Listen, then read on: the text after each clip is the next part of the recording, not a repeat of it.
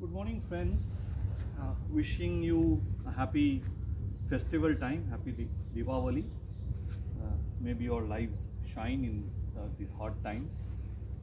Today I am visiting a place where I am tempted to speak a bit about optimization. Maybe you can call this what is optimization. I'm trying to show you how a golf surface, a golf field can be a very good uh, way to explain what is the notion of local maximizer, global maximizer, local minimizer and global minimizer. For example, if you come up and see at the distance those humps that you see or the one that you see just below the tree. So this whole surface that you see in the field is a golf uh, field, but this is like a function of two variables. F is uh, z is equal to f of x y. Now those humps, the corresponding x y's, these are local minimized while the other ones, the largest ones are the global maximizer and local one, the, this, the smaller ones are local maximizers. You can see a, a little brownish holes, basically this is hole for the golf balls. Those are the places of local minimizers. So one of them is the deepest and others are not. So the lesser deep ones are the local minimizers. For example, here you have one example of a local minimizer. Uh, just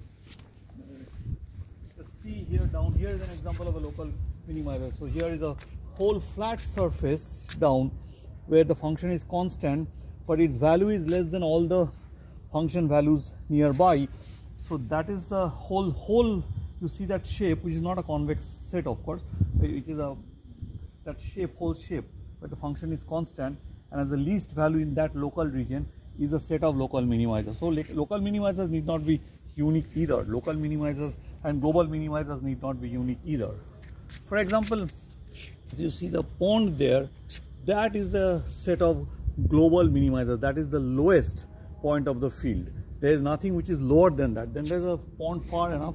So there are two sets of global minimizers possibly at the same level here, but those global minimizers form a, the set of global minimizers form a disconnected set. So this function as you see, the surface of this function is if you draw the epigraph or if you try to uh, dream of or try to shade it in your mind this whole space above this field, then you will immediately realize that this is that is that will not give you a convex set. So this is a typical example of a certain function, surface of a function, uh, the graph of a function, which is a surface, is function of two variables, and which represents a non-convex function. So hence it is automatic to think about local minimizers separately and global minimizers and maximizers separately. So this is a very good example which shows you the distinction of these very these various kinds of uh, mini minimizers actually. So for example, this set of minimizers here that you see here, the flat surface, they are all local minimizers, but they are not strict uh, local minimizers. That's because strict local minimizer has to be unique. So that's a very important uh, notion that we have here. So with this, I hope that's good for the Diwali time and enjoy mathematics and maybe uh, thinking of my little experience in optimization I will speak a bit more about optimization gradually as new things come in. Thank you.